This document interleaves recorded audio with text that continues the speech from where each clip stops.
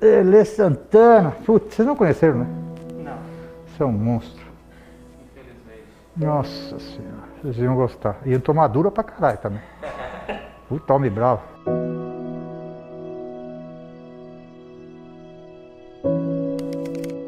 Porque muita gente tem curiosidade de como é que era o Tele. Todo mundo pergunta pra mim, Muricy, como é que era o Tele? Eu falei, meu, ele era bravo pra caramba.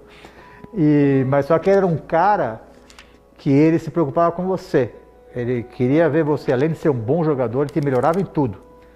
Passe, cabeceio, tudo ele te melhorava, porque ele era o cara da repetição, né?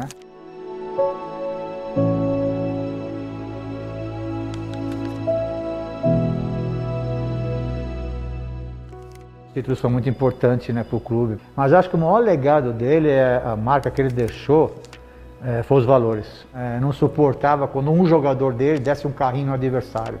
Ele ficava enlouquecido, ele chamava o jogador, brigava com o jogador, porque ele achava que, ele tava, que o cara estava agredindo o companheiro de profissão, que não era justo dar um pontapé no adversário.